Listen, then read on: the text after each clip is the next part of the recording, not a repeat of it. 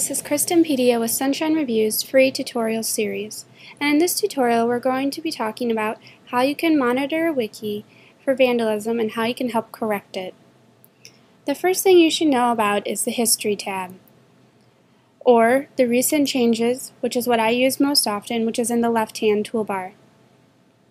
Now, once you've clicked on Recent Changes, you're going to see the top 50 recent changes in the wiki. And you can scroll down them. You can see here we've had a new user.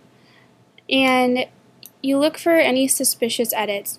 You're going to see here that this says plus 6,000 or plus 21,000 here. Those are very large edits, so you would usually check those out. Anything that's in the red, for example, you can see here over 200 characters were erased, is also something that may or may not be suspicious. So that's how you can monitor. You can also check and see on the usernames or if like four users get created automatically, that might be a spam bot.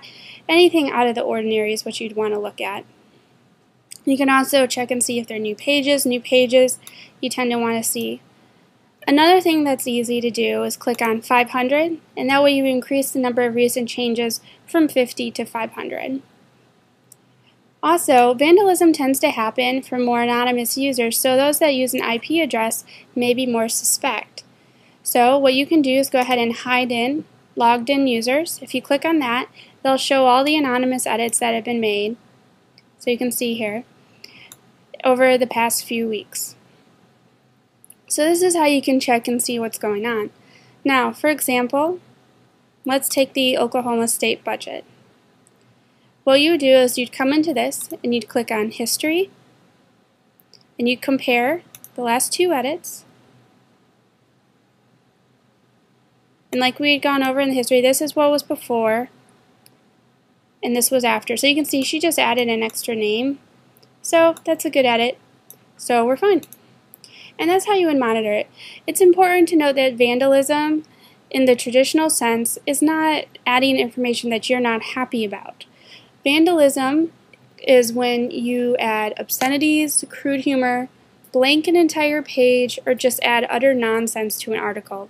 If you run into any vandalism like the above, either undo it or just erase it. That's completely fine. Other than that, Sunshine Review does not have a policy of encouraging erasing content.